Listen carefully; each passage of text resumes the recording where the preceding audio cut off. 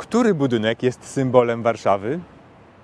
No pewnie wiele osób powie, że Pałac Kultury i Nauki, bo jest ogromny, bardzo wysoki, wygląda niczym wielki lukrowany tort. Nawet niektórzy mówią, że Pałac Kultury jest jak szalony sen pijanego cukiernika, pełen ozdób, ozdóbek, ornamentów, wszystko w nim ma zwrócić na niego naszą uwagę. A jednak u progu XXI wieku ktoś postanowił rzucić Pałacowi Kultury wyzwanie, wznieść obiekt, który przyćmiłby komunistyczny moloch, odwrócił od niego uwagę i stałby się nowym symbolem stolicy. I dzisiaj w programie właśnie o tym zuchwałym i wizjonerskim projekcie, czyli o apartamentowcu Złota 44. Przyjrzymy się jej historii, no ale przede wszystkim wejdziemy do wnętrza, aby odkryć jej ukryte zakamarki i zobaczyć, jaki widok roztacza się z jej najlepszych apartamentów. Zostańcie z nami.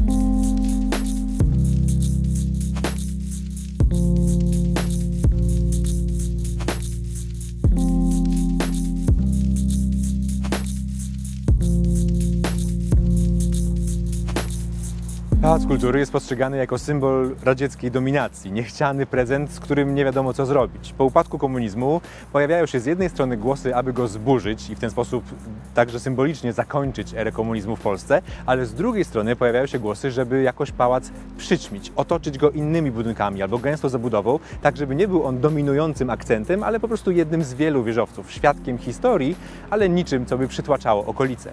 I właśnie takie zadanie, stworzenie konkurencji dla pałacu postawili sobie inwestorzy wieżowca Złota 44. Chcieli stworzyć budynek, który przyciągnąłby uwagę silniej, mocniej niż robi to Pałac Kultury i stałby się symbolem nowej epoki w dziejach naszego państwa. No ale żeby stworzyć coś takiego, to konieczny jest architekt, który potrafi projektować budynki ikoniczne. Architekt wizjoner, który ma już na koncie rzeczy, które sprawiają, że jest on łatwo rozpoznawalną właściwie ikoną architektury sam w sobie. I wybór padł na Daniela Libeskinda, amerykańskiego architekta, ale urodzonego w Polsce, który kiedy był małym dzieckiem, to przyjeżdżał do Warszawy i widział, jak świeżo budowany Pałac Kultury lśni w słońcu, ponieważ kiedyś Pałac Kultury był bardzo jasny, taki lekko piaskowy e, w kolorze i odbijał promienie słoneczne na tle zrujnowanej stolicy. Daniel Libeskind miał już na koncie wspaniałą realizację Muzeum Żydowskie w Berlinie, które uczyniło z niego jednego z najbardziej znanych architektów na świecie. Więc z punktu widzenia biznesowego, no to nie można było wybrać nikogo lepszego architekt światowej klasy, wybitnie utalentowany, który także dzięki swojemu rozgłosowi zapewniał uwagę mediów. Jeśli ktoś miałby stworzyć coś równie ekspresyjnego co Pałac Kultury, no to chyba tylko Daniel Libeskind. Architekt potraktował budynek jako wielką, ekspresyjną, powyginaną, dynamiczną rzeźbę, która tylko przy okazji ma wewnątrz 54 piętra mieszkań. Zasadniczo składa się on z dwóch wielkich brył prostopadłościanu, w który wbija się powyginana, wykrzywiona forma kończąca się szpicem na wysokości 192 metrów. To dzięki właśnie tej dynamicznej, wygiętej, wklęsłej formie budynkowi nadano przezwisko Żagiel albo Żagiel Libeskinda, choć sam architekt mówił, że raczej chodziło mu o skojarzenie ze skrzydłem orła, który wzbija się do lotu. Elewacje budynku są pokryte nieregularnymi mozaikami z jasnych i ciemnych paneli. Trochę tak jakby były projektowane nie jako fragmenty budynku, ale jako wielkie, kolorowe grafiki. Co kryje się za tymi elewacjami? Luksus. Przyjrzyjmy mu się bliżej.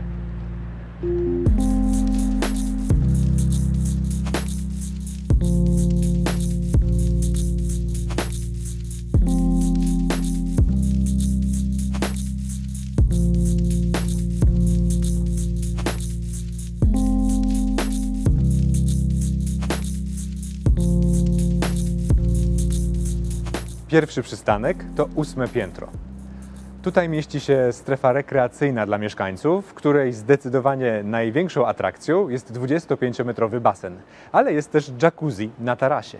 I z tego tarasu rozciąga się chyba najciekawszy widok w górę, na tę wklęsłą krzywiznę, czyli charakterystyczny element dynamicznej bryły Złotej 44. No ale nie przyjechaliśmy na Złotą 44, żeby oglądać ósme piętro. Teraz jedziemy tam, na 50.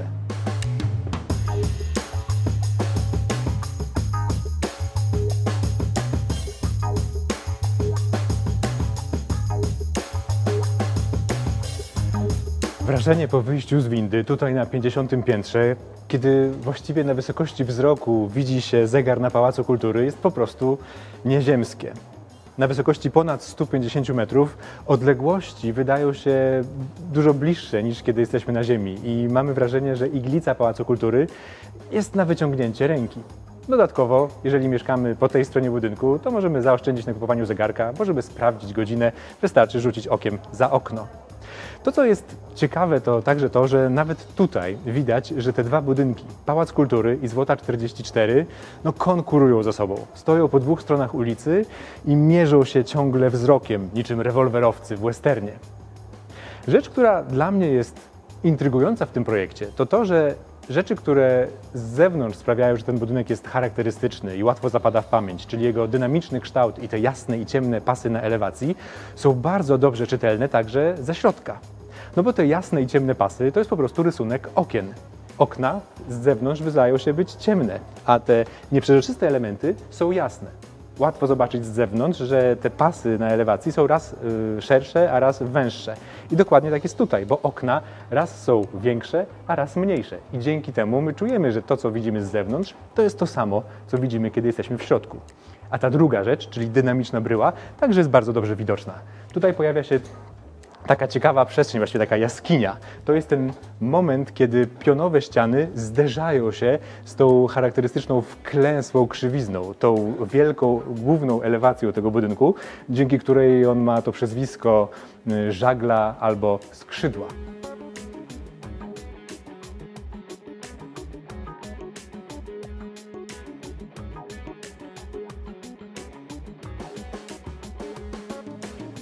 Konstrukcja tego budynku była nie lada wyzwaniem dla inżynierów, no bo on się najpierw zwęża, a potem zaczyna się rozszerzać. Do tego cała ściana po tamtej stronie jest jakby wysunięta trochę przed budynek i tworzy ogromny wielopiętrowy nawis nad przejściem pomiędzy Złotą 44 a sąsiednim hotelem. To właśnie ze względu na tę skomplikowaną konstrukcję wynikającą z bardzo wymagającego i dynamicznego kształtu pojawiają się takie ciekawe elementy jak ukośne słupy. To dzięki tej nietypowej formie Wszystkie piętra, czy każde piętro jest inne i nie ma dwóch takich samych mieszkań. A chyba najciekawszy jest apartament, który mieści się na samej górze budynku, w charakterystycznym wycelowanym w niebo szpicu. I właśnie tam się udajemy. Chodźmy. No i jesteśmy. Ten apartament, jeszcze nieurządzony, jest trzypoziomowy wchodzi się na 52 piętrze, ale stamtąd można pójść na piętro 53 i tu jest pokój, z którego wychodzi się na taras, a kulminacją i tego mieszkania, i całego tego wieżowca jest piętro 54 w samym tym szpicu budynku.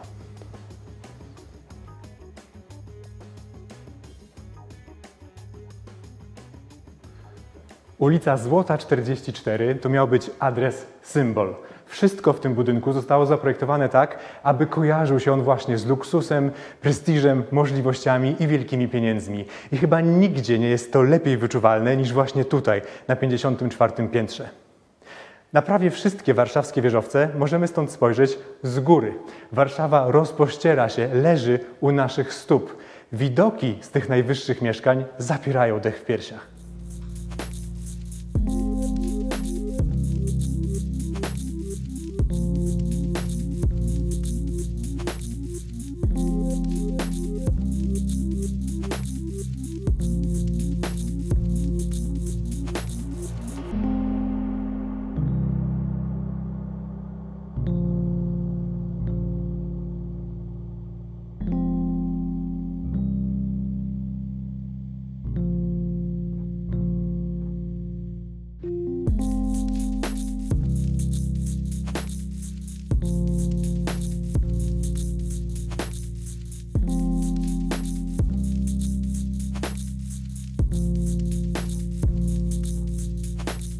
Jednak w filmie o tym budynku nie sposób po prostu nie wspomnieć o kontrowersji, jaką on wywołał. Kiedy jego żelbetowy szkielet zaczęto obkładać elewacją, to opinia publiczna była w szoku. Okazało się, że wygląda inaczej niż się spodziewano. Myślano, że będzie gładki i liśniący jasnym błękitem, no a jednak te jasne i ciemne, różnej szerokości pasy, pionowe i poziome, były bardzo widoczne i mocno kontrastowe. Czyli co? Miało być jak nigdy, a wyszło jak zawsze?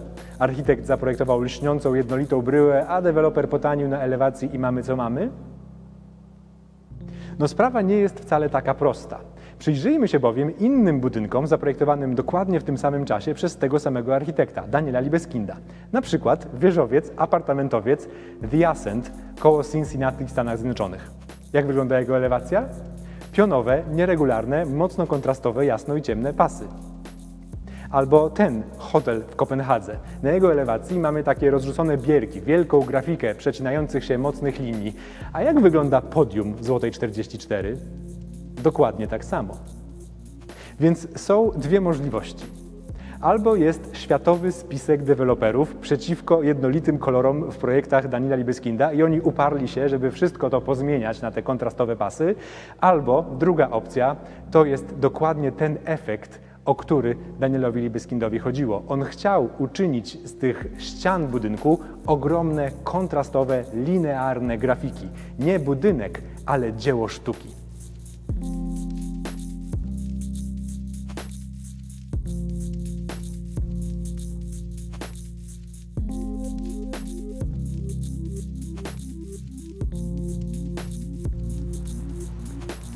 I na koniec kluczowe pytanie.